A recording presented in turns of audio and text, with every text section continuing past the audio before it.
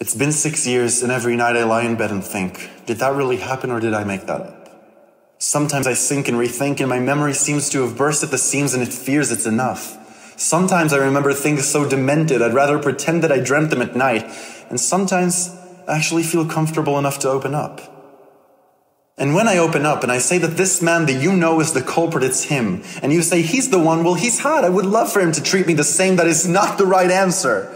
That's an F for you and your truths and whoever raised you. And I face you with the hardest thing I've ever had to face in my life. And I'm not even asking for sympathy yet, but only you to hear me and clear me of any suspicion I bring home, every feeling of imposter syndrome, all the salt in my wound as I halt to the tune of your cold blood and maroon. But it's not.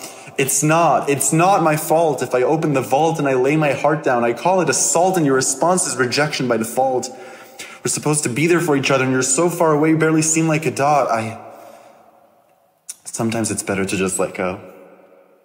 Sometimes you're told to fake it till you make it. But being fake is what I've done for years and it's not what it takes to fix an aching, the earth quaking, and maybe then it's the moment when you realize you've been here before. Look at the TV screen and realize there's a reason you feel so involved. It's like the story revolves around a deja vu and overall, this is an experience you know and can one day forego. I've been proper assaulted and I'm told to fake it till I make it. Well, then maybe it's just a stupid bus, but maybe I'm not ready to take it.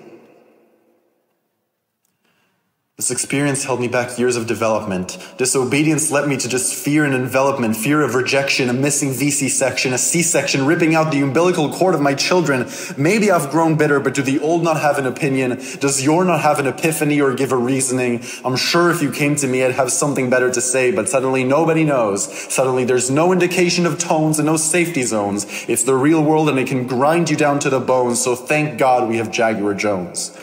Because if I were to walk this road alone, I'd rather go like my uncle before me into the unknown.